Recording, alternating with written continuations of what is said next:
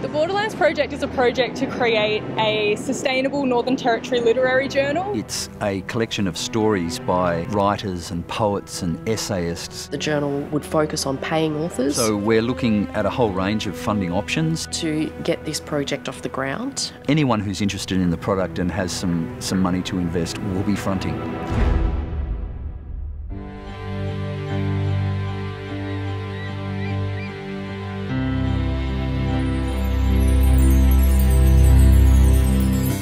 Almost it was as if my steps had strayed into some strange old land or unknown isle, where time itself with drowsy hand had stayed the shadow on the dial.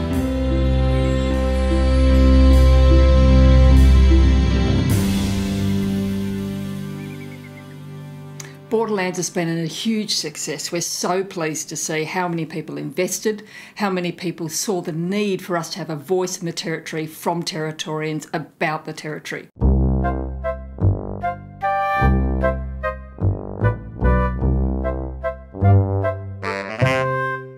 Project's going great, so thanks to overwhelming community support, we reached our fundraising target. So thank you so much to all of our donors. It really means a lot to us.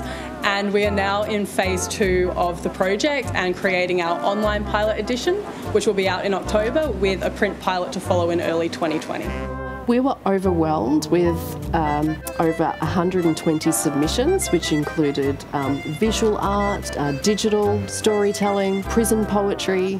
We found that there's this really nice balance between some famous award winning authors from the Northern Territory that are being published, as well as some emerging writers that are really showing their potential.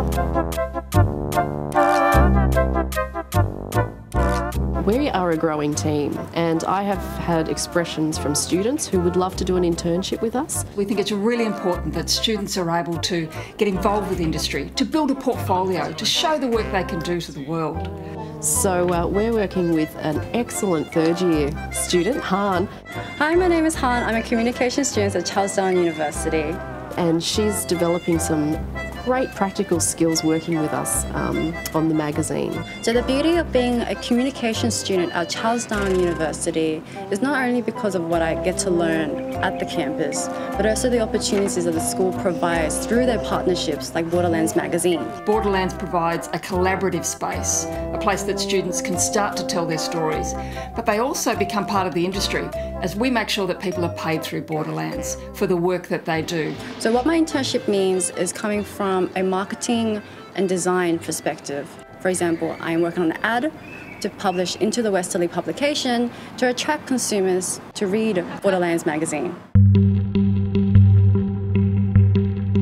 We're also really excited to share that we've created a partnership with Westerly magazine from the University of Western Australia and they will be publishing six Northern Territory writers in their November print edition, which means that Northern Territory writers will be more widely read throughout Australia.